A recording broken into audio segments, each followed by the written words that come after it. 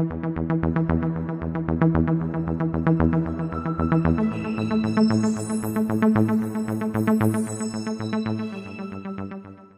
Window is a 1954 mystery thriller directed by Alfred Hitchcock starring James Stewart and Grace Kelly. As a wheelchair-bound photographer spies on his neighbors from his apartment window and becomes convinced one of them has committed murder. Universal presents this film on native 4K with HDR10. What is up everybody and welcome back to the Mid-Level Media channel, your hub for everything physical media and entertainment. I am Ken and I'm here today to review this classic Hitchcock film from 1954, Rear Window, as a part of this Alfred Hitchcock collector set, 4K collection set.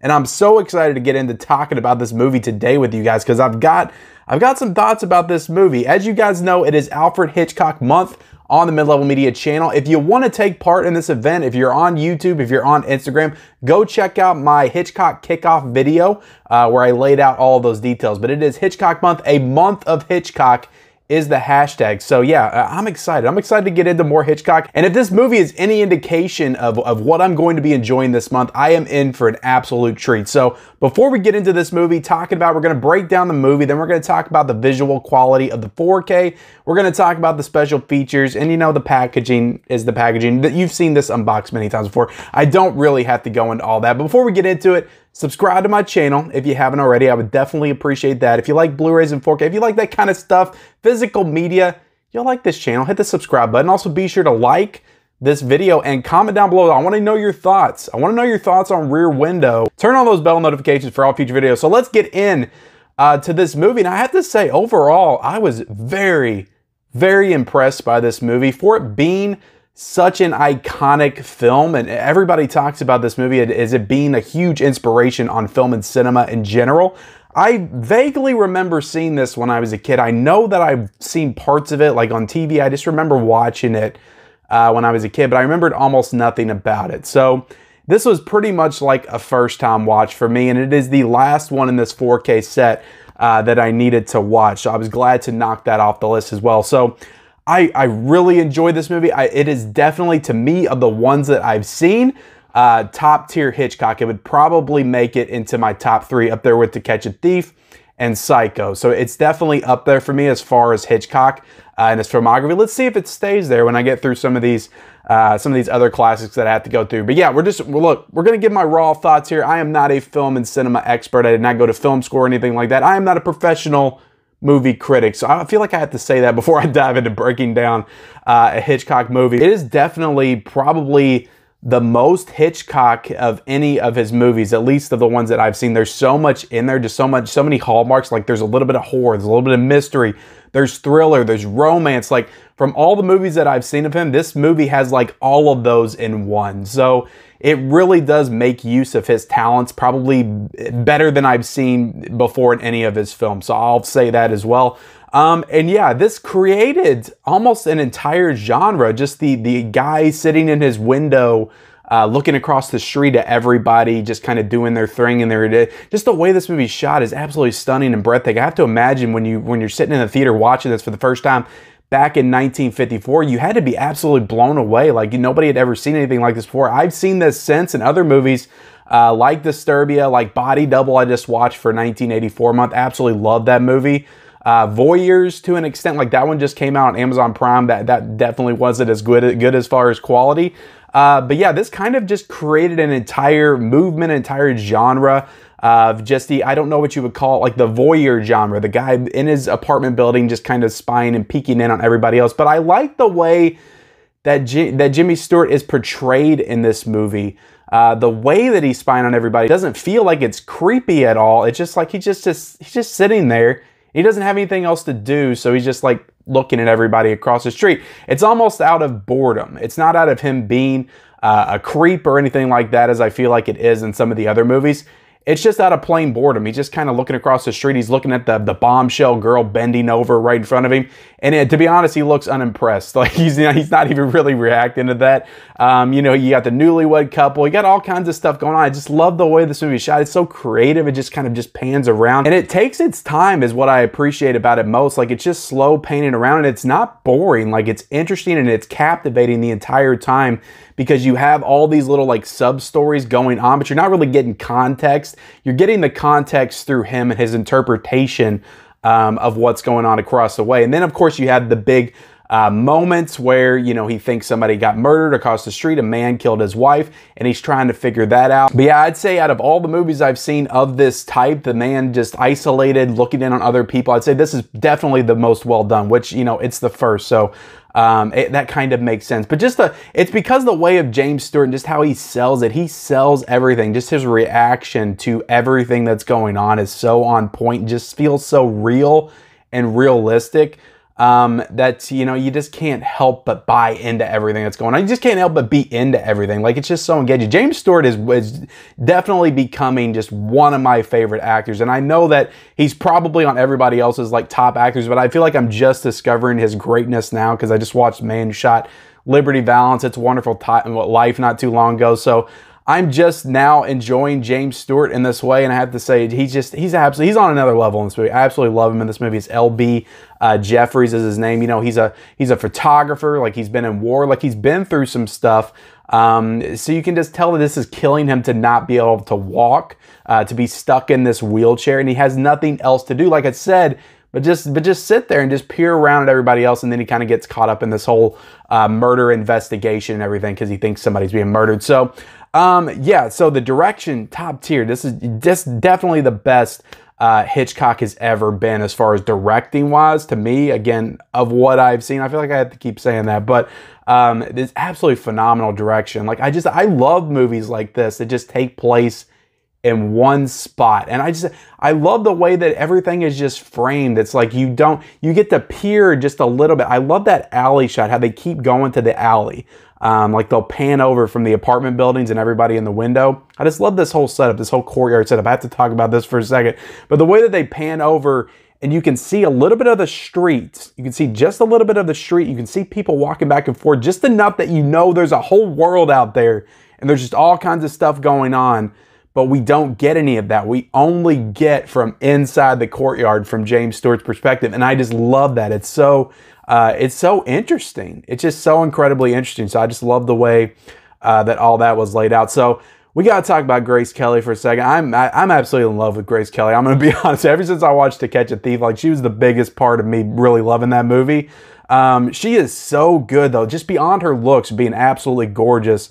She's so good in this movie. She is so charming, so charismatic. It is it's such a shame that she quit acting uh, to become a princess, I think, like in, in the mid 50s, just as her career was really starting to take off. Because I can only imagine what she would have done. She's only like 23 or 24 in this movie, but she is she is so good. Just from the second, Hitchcock knows he knows exactly what he has in this actress. When she gets just her first appearance, like you see that the the, the camera is just directly on her. She's coming into uh, into Jimmy Stewart's focus there, into his viewpoint um, as he's waking up, and just the picture of her face uh, coming in at him. just so well, so so well shot, so well lit. Like it's just perfectly highlighting all of her incredible, uh, you know, beauty and, and features, facial features. It's such a great shot. And when she first comes into this, and it's just like, okay, Grace Kelly's here let's go. Like that's what it feels like. But um, yeah, she's just it's an absolute star. Her and J- Jimmy Stewart have such great chemistry. And it, it does feel a little bit where I always find it a little bit odd when you have these movies where, you know, the gap between the uh, the romantic relationship is like 25 years, which she was like 23, 24, and, and Jimmy Stewart was like 46, 47 um, in this movie. So that feels a little off that she would be so into him, but my God, is she into him? Like she's, I don't understand. Like, and that's another thing that, um, again, I'm not going to say it got on my nerves because it was a part of uh, his character. Um, but like she was all over him in this movie and like he was not giving her the time of day at all. And it's like, how could you resist Grace Kelly? This is ridiculous. Uh, it didn't feel realistic in that sense, but again, it was a part of his character trait, you know. Um, which, you know, again, I just love all the you have the personal stuff with him going on in his personal life and his relationship, in addition to all this interesting stuff that's going on outside of the apartment. Um, and it just really adds a lot of layers to the story and the characters. And that's something I, I definitely enjoy because he is a guy that feels like he's kind of been a loner his whole life and he doesn't really know how to accept love. Like he even talks about that in the beginning when he's talking to his, I don't know if, uh, uh, she's his nurse, but played by Thelma Ritter, who's absolutely fantastic in this movie as well. She provides a lot of energy and laughs um, and exposition for Stewart's character, kind of how she lays it out with him, and you kind of get a sense for who this guy is. Um, he's kind of like, look, I don't care. Yeah, she's beautiful, she's all this, but it's not it's not interesting enough for me. It's not interesting enough for uh, the way I live my life and my lifestyle. I just don't know if I if I need all that in my life, all that glamour and glitz, because she's like a model and everything as well, uh, which is definitely interesting. It just it, it makes his character just so much more uh, interesting than it would have been otherwise if it, if it had just been a situation where he's like, yeah, I got a hot girlfriend that comes over and, you know, we're really into each other. It just adds a lot of layers um, to the story. So I'm trying to think of other things I want to say about it. The music in this movie is absolutely phenomenal. I love the music. So yeah, I, I just really love this movie. I really loved it a lot. Um, but I'm going to get into a little bit of the negative. So as this story starts to develop, as this mystery starts to develop, it starts to to go into some directions where you're like, okay, I kind of am figuring out what's going on, but I know that Hitchcock's going to throw something in uh, else at me. Uh, it's going to be a moment where you know we realize that Norman Bates was dressed up like his mother all along. It's going to be like one of those situations.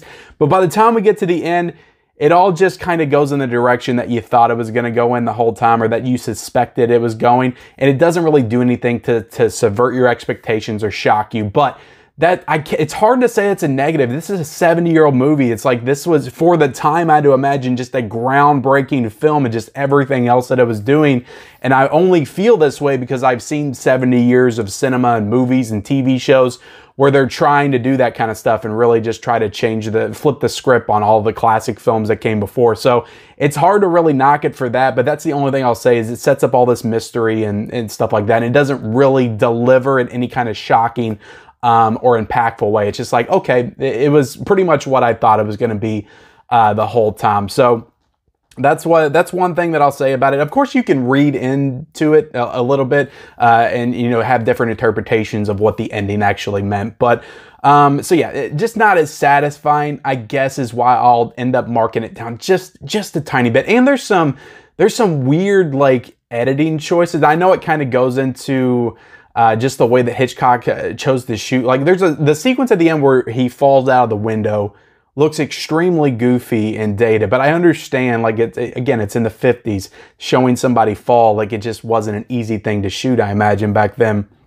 You couldn't really fake that kind of thing and make it look as realistic as you can now. So um, so I, I, get it, but again, it just doesn't look the best. It looks extremely when he's like falling, just the way the camera and everybody's running out like super, like almost like he speeds up the film uh, a little bit. So all that kind of felt uh, a little awkward, not really necessary. So, but at the end of the day, guys, I, I really love this movie. I'll give it a 4.5 out of a 5 for the actual movie. It, it, it is possible I watch this a couple more times, it might move up to be a perfect movie for me. But as of right now, I'm going to give it a 4.5 out of 5 on Letterboxd. Really enjoyed it. So, Let's get into the to the uh, to the, the, visuals of this, the 4K visuals. Did the 4K visuals deliver? So all of these in this set, I will say, if you have not picked up this Hitchcock collection, I think it's like $54 on Amazon right now. I'll link it down below. It's a phenomenal set, absolutely phenomenal set. Psycho looks fantastic. The Birds looks fantastic. Of course, they re they re-released all these individually, uh, but you're going to pay a little bit more uh, to get them all individually. But it's a fantastic, everything, every movie on here looks amazing. This one though, what I will say, it is, um, it's not as vibrant as some of his other films, just in the the uh, you know overall aesthetic of the apartment buildings. Everything's like real, the real dull colors, like all browns and just uh, you know bland greens and stuff like that. Like it's not, it's just not the most um, yeah, colorful or vibrant as far as so you, when you see the HDR, it doesn't really pop like it does in something like Vertigo looked outstanding, like out of this world with some of the visuals in that movie. This one is just very dull.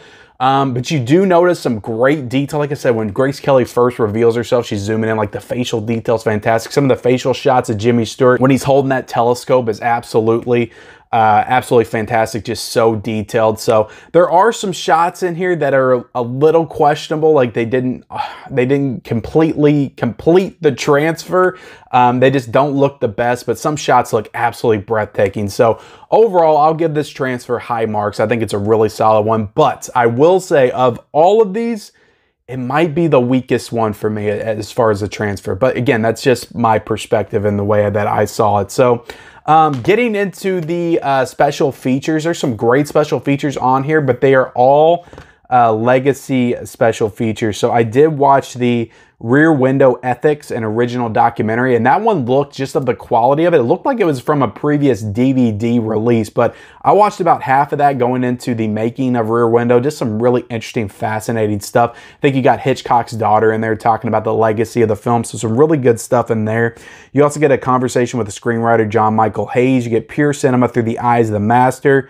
Um, so that one, the pure cinema, that's kind of like an overall of all of his um, of all of his movies, and I feel like that was on the Psycho one as well.